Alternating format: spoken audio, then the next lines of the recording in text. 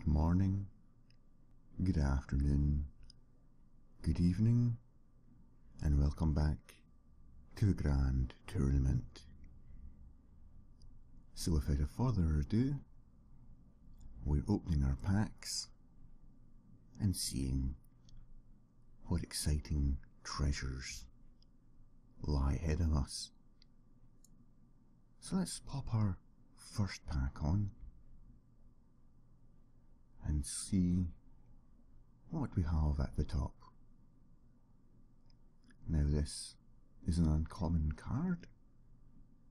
So if we click on it, oh, a fearsome Doom card. 7 mana, a 6-8, and nothing special about it. It is for Warlocks only. It's a, a solid card. Keep in mind though that for 6 mana you can get a 6-7. Now it is a demon, so potentially it could be one of these cards that you use in conjunction with uh, the Void Caller for example. Now our top right card also is an uncommon card.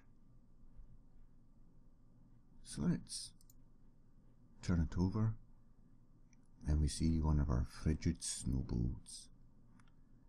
Again, we've seen this guy before, he's a 2-6 for 4 mana, but he does have plus 1 spell damage. Again, that's solid enough, if unspectacular. You know, 4 mana is probably more impactful cards you'd be wanting to play. So now at the bottom left corner, sorry I say bottom left, that's bottom right of course, we have a Maiden of the Lake. It's another 4 mana for 2-6, but this has hero power costs only 1. So that's actually a really good card to combine with your, well, usage of hero power and inspire. It's got a solid body at 6 health. That means it should remain on the board for one or two hits. Now it's able to take out kind of lower health minions. Definitely, given the option, I will be playing the Maiden of the Lake over the Frigid Snobold. So in the bottom left corner this time, we find our rare card. So just skip over her go to the top right corner, the top left corner. I'm getting my directions all messed up here today. As you can probably see, it's actually only half past eight, so there you go. I got up a little bit earlier to make sure everything was ready to record this one. So we get a Boneguard Lieutenant. Inspire, gain plus one health. Two mana for free two. Again, we've seen that one before. It's a solid card. Works well in conjunction with um, taking out lower minions and buffing up. I'm not sure if that's our third one or not, but certainly it's two we've had, so should be fairly decent. So let's now move down to our uncommon card. I've seen a few uncommons so far, I wonder what this one will be. Let's click and find out. 2 mana for a 2-4, so it's a cheap card. However, it can't attack unless you use Inspire. So it does have a big drawback. I mean, you might not be able to do much of it at certain times, but you're normally expecting a, a free 2 with no drawbacks for 2. I can't say I'm overly inspired, if you pardon the pun with this card, as you really need to be making sure you are using your um, hero ability at the same time. Well, that's after, you know, on your next turn. So turn 3 would be your hero ability, which should only leave one mana spare, for example. So let's click and drag our next pack. Is this going to be the one with our legendary in it? It might be, but it's not the top right card. And that is the Undercity Valiant.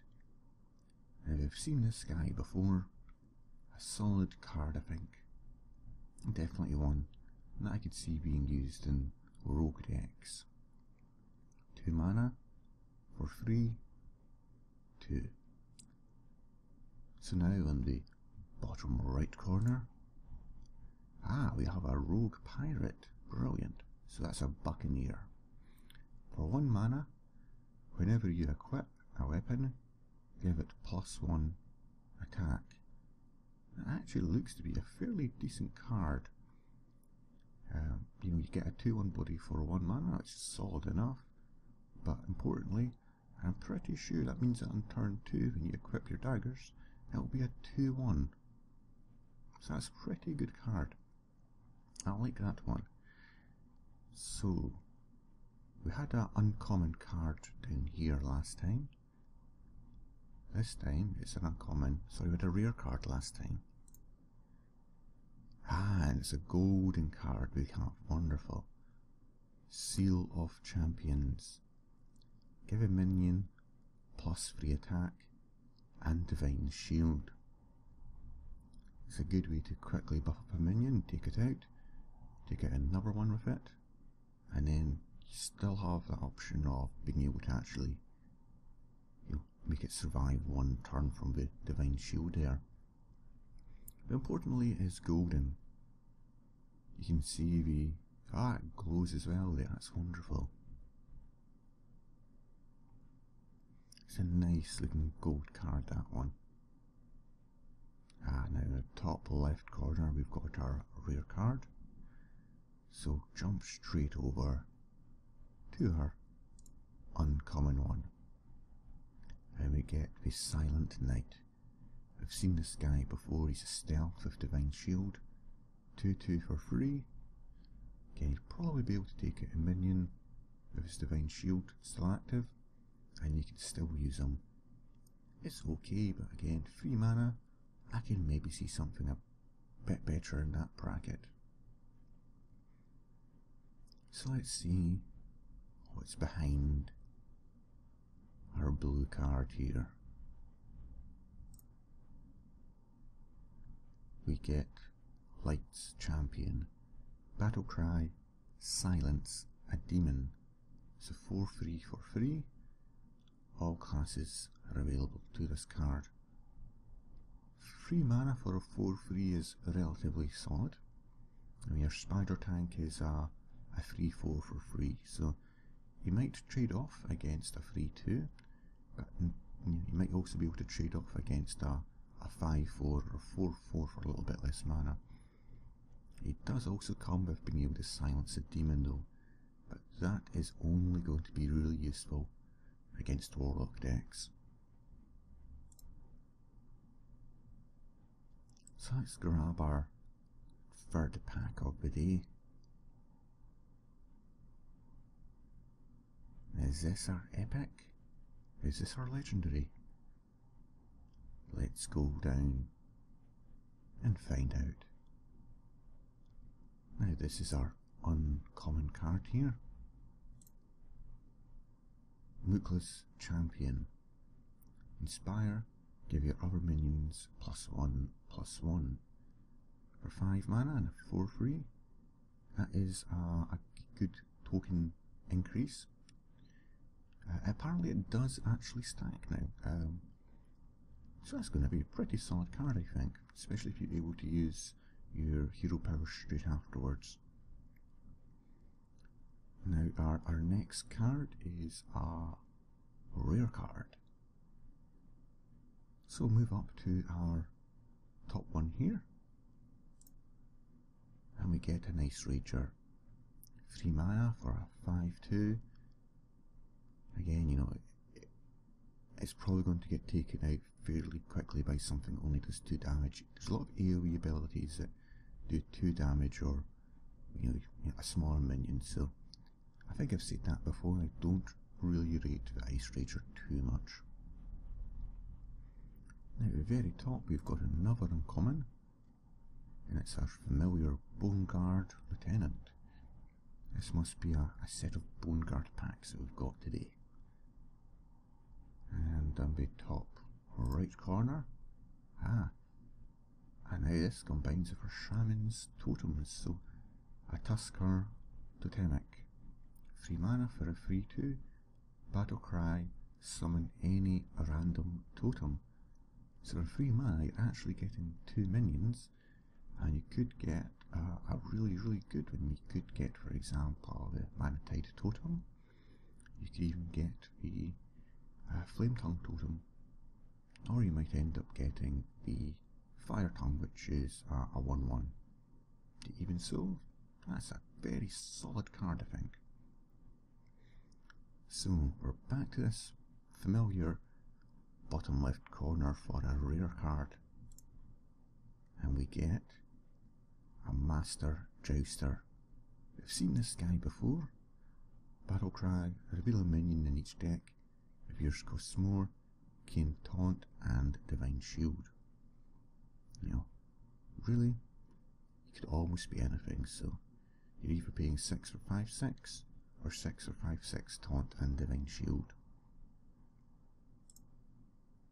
Again, I, am never a huge fan of leaving things up to a randomness for it. So, we're now on our second to last pack here. And in our familiar bottom left corner we find our epic card. We're close to getting our legendary, I'm sure of it. But right now we've got an uncommon to find. It's a Murloc Knight. Inspire. Summon a random Murloc. 3 4 for 4. That's a solid card. Ah, we've now got our rare card up here. And another rare card. So let's open this other uncommon. Here we find one of our captured Jormungars. We've seen them before. 7 mana for a 5-9. A big solid body, but again it's 7 mana. You're maybe looking for something that'll have more of an immediate impact on the game, such as a Legendary. So we've got one at the top and one at the bottom here. Well, left and right I suppose. Close my eyes, eeny, meeny, miny, Catch a whisperer by the toe. If he whispers, let him go. Eeny, meeny, miny, mo. Uh, Tuskarr Jouster. So it's another Murloc on a, another um, paladin card here. Reveal a minion in each deck. If yours costs more, restore 7 health to your hero. Again, I've talked about this one before. For 5 mana, I'd rather get a guaranteed free free ancient or antique healbot, which will always guarantee your 8 health. And now an injured Kvaldir. 1 mana for a 2-4. Battle Cry, deal 3 damage to this minion. So that actually starts off as a 2-1. However, if you're a priest, you can heal it back up in turn 2. And, you know, that, that could be a good solid card. I can see that being quite useful. Even a 1 for 2 1 is not too bad in the early games. So we have our rare or rather our epic card here. Now what do you think this could be? Will it be a warlock card? Perhaps it will be a golden mage card. I think it's going to be a warlock card. It's a priest card. Confuse. Swap the attack and health of all minions. For 2 mana, that could be useful. It might not be. Difficult to really tell. So we're coming up to our last pack here this could be our legendary. They say you should get one in every 20 or so packs. So this should be our pack. So it pops open. Let's open up the top left corner and get a Shado-Pan Rider. 5 mana, potentially a 6-7. Of course, the good side about this is on turn 4, potentially if you play a coin, that would give it a 6-7 on turn 4. It's a really good in combo with your coin. So that's our rare card. Jump to our uncommon one here. 2 mana for a 2-3. Flame Juggler. Again, we've seen this guy before. 1 damage to a random enemy. It might be good, it might not be. So the bottom right corner, a Dalaran Aspirant. 4 mana for a 3-5. Anytime you use your hero power, this guy will gain plus 1 spell damage.